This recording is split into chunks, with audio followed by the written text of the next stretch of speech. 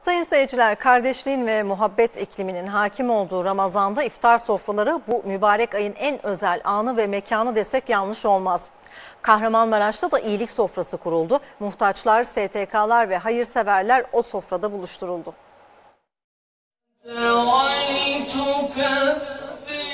Kardeşlik, muhabbet ve dostluk.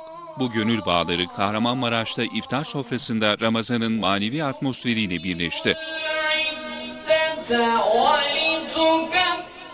Kahramanmaraş İl Müftülüğü tarafından iyilik sofrası iftarı düzenlendi. Hep beraber bu toplumun ıslahı için çalışıyoruz. Bu toplumun güzelliği için çalışıyoruz. Bu toplumun gerçekten Mevlana'nın gel gel ne olursan ol gel diye inleyen o sesine ihtiyacı vardır. Kervanhan'da kurulan iyilik sofrasına şehit aileleri, muhtaçlar, sivil toplum kuruluşu temsilcileri, esnaf ve sanayiciler birlikte oturdu. Ramazan'ı huzur içerisinde şehrimize geçiriyoruz.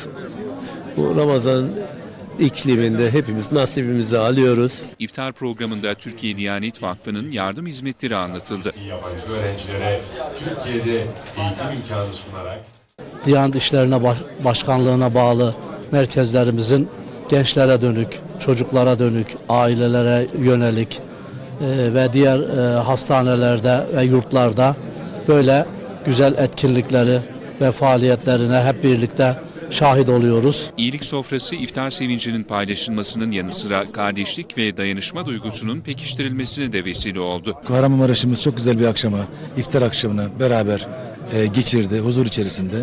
Bu birlik ve dayanışma duygusunun bir göstergesi.